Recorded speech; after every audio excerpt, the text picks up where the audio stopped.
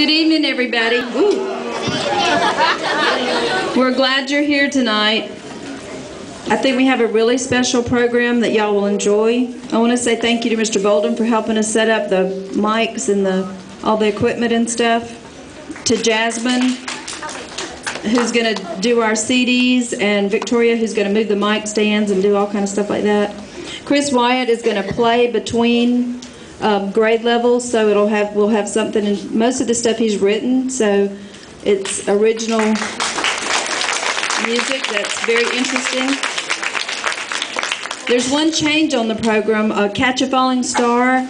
Um, instead of Aljamar, it's going to be Christy Nolan. Aljamar's voice is changing, so he's kind of uncertain at some point. So um, we changed that to Christy.